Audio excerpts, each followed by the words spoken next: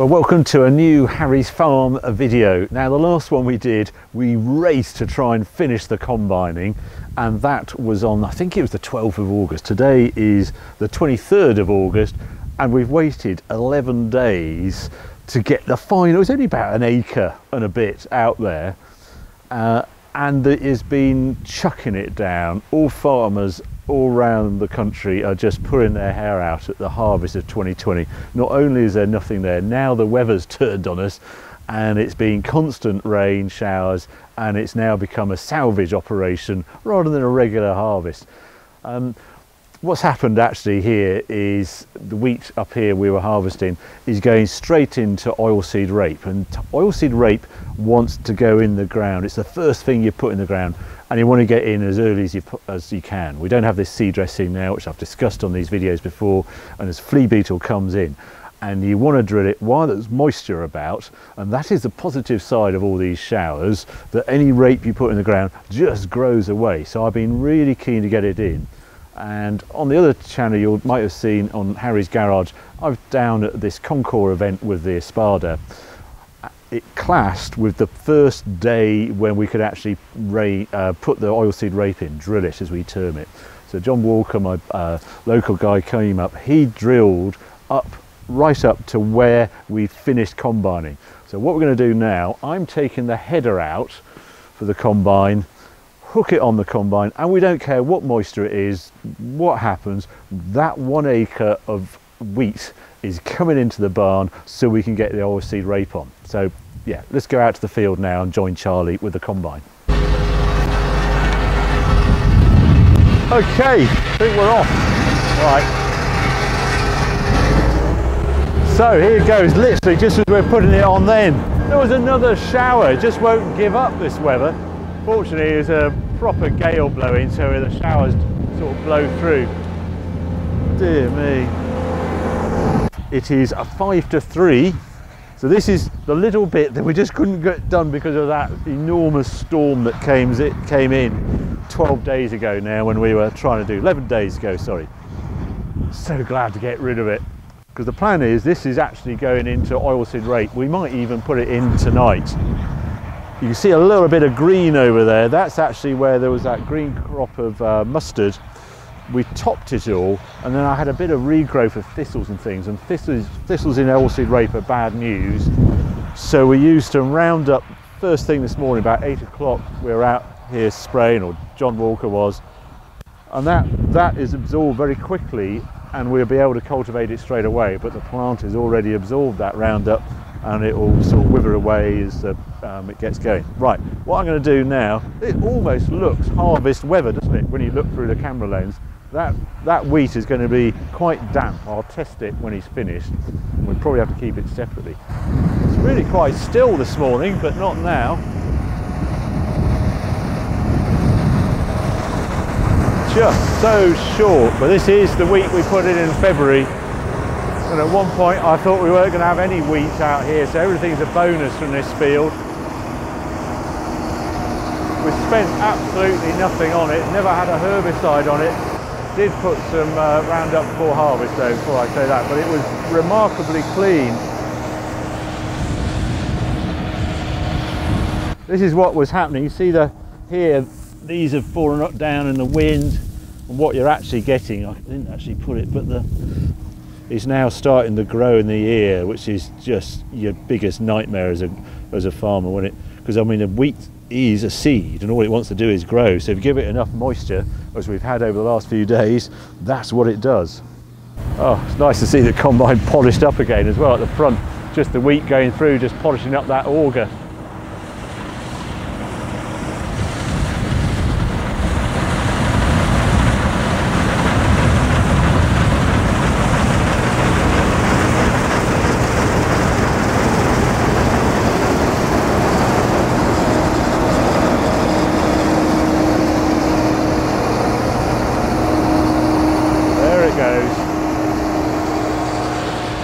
Excellent. Right, what we're going to do now is just dive into this field over here. Two little bits Charlie left because they were so green when we were combining them. I was going to cultivate them in, but I thought, you know what, we're coming to combine that, we might as well get these as well. So he's going to run over there. I have to say this year is one of those years when it's really paid to have your own combine. By being reliant on a contractor with such catchy weather, if you haven't combined before the rain and you're now trying to combine with the weather forecast as it is, it turns into a bit of a nightmare because it's catchy, it's like last year. You get the wet grain, you got the drying costs and you haven't got the quality of wheat and your yield goes down. It just bites you everywhere when you get a wet season. As I said before, combines always appear really noisy because you just run that engine at maximum revs and then you have a um, just an oil hydrostatic gearbox.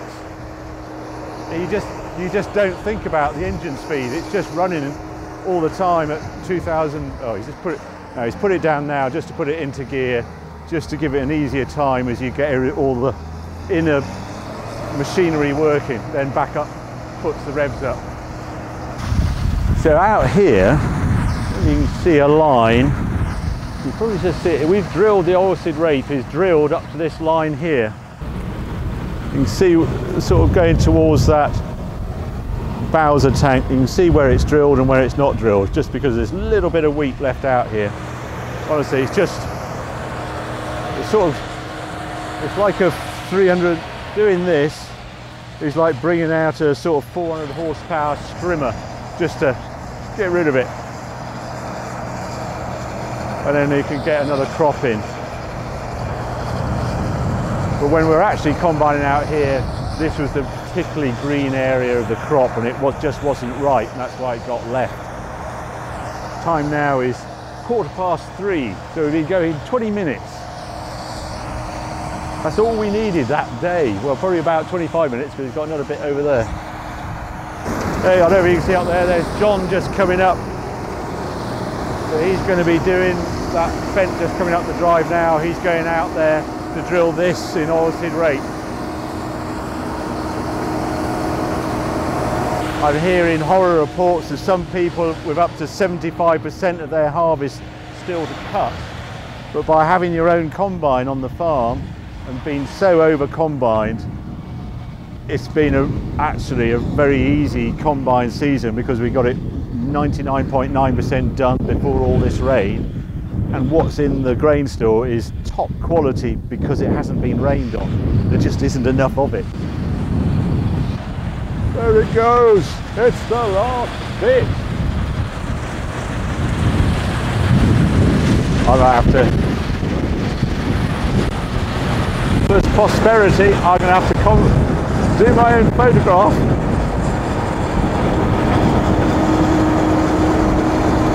the last bit of combining.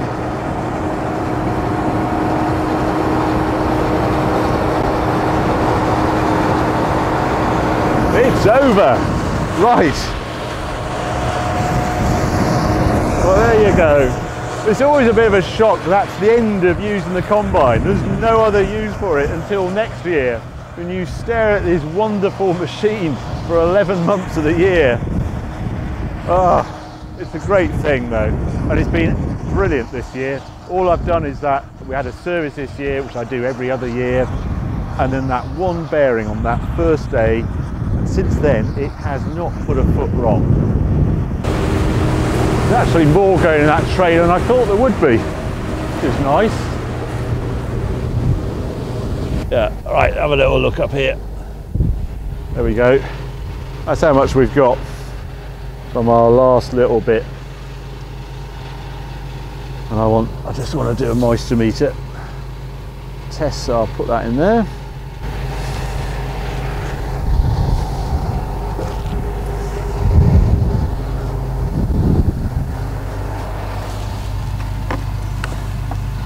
now bear in mind most of what's in the shed has been around the well 13 14 percent mark. I would imagine this will be well, anywhere between 18 and 20 percent I would say. Now I can tell already that is it's gone it's like soft when you it's not doesn't sound gritty when you grind it up like that. 18 I'm saying. Oh there we are so I got the answer. 17.2 17.2 could be a lot worse than that. You can't sell it at 17.2%, you want to be below 15%. Um, but 17 I can do a little bit of careful blending and uh, that will be all right. It's when it goes over 20% it doesn't last very long in the shed without some drying happening. Okay, wheat harvest done. Now, now let's go back to the yard and I'll show you what else we've been doing. Right, here's the seed we're putting in. Now this is oilseed rape. This is a hybrid variety of oilseed rape. And this bag holds, it's got 7.3 kilos in it, 1.5 million seeds. I haven't counted them all, but I have to believe them. And that, you want half a million seeds per hectare. So this bag will do three hectares, seven and a half acres. You have to be pretty accurate because that bag, 230 pounds to you, sir, of seed. So you want to be pretty accurate putting it in. I was going to spin it on, as I mentioned how I put the mustard in, but I bottled out and John's coming up to drill this because it's just the, everything, conditions are perfect, everything's right and I don't want to mess it up. I want to give this oilseed rape the best chance. I want it to go at basically 50 seeds per square metre precisely. And to do that, you have a rig like that. Now, upgraded the tractor, we've got the um, Claydon drill again, hybrid drill. That can meter it out that accurately that you can put it um, to, um, what's that, 7.3, so it's about 2.4 kilos of seed on a hectare, precisely. But you need a chunk of horsepower to pour a six metre drill through. The Fendt 9360 you see there, that tractor, 200,000 pounds, something like that for that. Drill 60, so it's over a quarter of a million pounds in machinery costs sat there. Um, ought to give you a closer look. But once you get up to that sort of money, you need plenty of acres to go at, and that's why I share the machinery with John. I pay him a contract charge to do it because I just get a really good machine pushing the, um, the rape in the ground. What's really trick about this Fendt is one, it can pick up whatever weight you want on the back because you have a front weight just on the front linkage here. Two and a half thousand kilos on there, so that's a Range Rover sat on that chunk of metal there, just on the front arms, just so it doesn't pick up its back.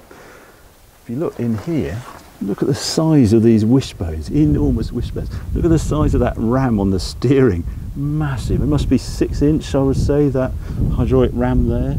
For that, there's um, oh, there's all sorts of powers, um, links here, just like you find on a car, but everything is super size just because of the weight of the tractor. Then you can just have a look here. We've got this um, VarioGrip here that means that you can vary the pressure in the tyres from the cab. You can go up and down as at will. Because also there, again, more weight just is just to get traction. So you bolt on a whole load of cast iron on here. What are these? Um, 600 kilos there, just inside the wheel. Looks like the centre of the wheel is cast as well. Monster amount of weight, massive tyres, taller than I am. Top link is a ram rather than I have a little screw thread thing that's an actual ram and then you look at the drill this I've explained this one before basically you have a leading tine in the ground there and this behind it is the coulter and the seed comes is blown down these tubes it's split behind the coulter so it comes out in two exits here behind this coulter so that goes deeper than the seed and the seed is then dropped precisely just behind it. And then you come at the back have these sort of leveling balls just knocking the ground slightly flat and these harrows here. And that's it. So that's what's going to do the last little bit of oilseed rape the rest is drill if we have a quick look out in the field I'll just go and see if I can find some seed and see if it's starting to grow well this is the field we were John was out drilling on Thursday while I was at that um, Concours event um, it is impossible to find rape normally I'll have a little go just see if I can find some seeds. Uh, lovely moisture, the plus side of the weather we've had, this is just perfect growing conditions. I'd love to find a little seed. It's not very deep rape. Come on seed, just one seed, that's all I need. Doesn't really matter. I think if you come back in a week, if I do another video in about a week's time, 23rd of uh, August, this is perfect time to be putting the rape in. And I've never had such a quick turnaround. So there he is, he's just leaving the yard to go and drill that rape. That's quarter to four. we finished combining, what was it, about quarter past three, so half an hour after the combine has left the field, it's going straight back into oilseed rape, ready for harvest of 21. So there you go. That's what's going on on Harry's farm. Always is a busy time of year, uh, this time of year, and particularly so when you when you have a delayed combine and then you want to get the oilseed rape in in good time. Let's hope we don't have another harvest like 2020. I was reading in Farmers Weekly today that the harvest is the worst, 2020 harvest is the worst for 30 years. Let's look positively. 2021 it's got an ideal start, moisture perfect time for the oilseed rape to get away, great soil temperature, roll on 2021. So there you go, I hope you enjoyed this, enjoyed this video. If you have, well keep watching, keep subscribing, more videos coming along very soon.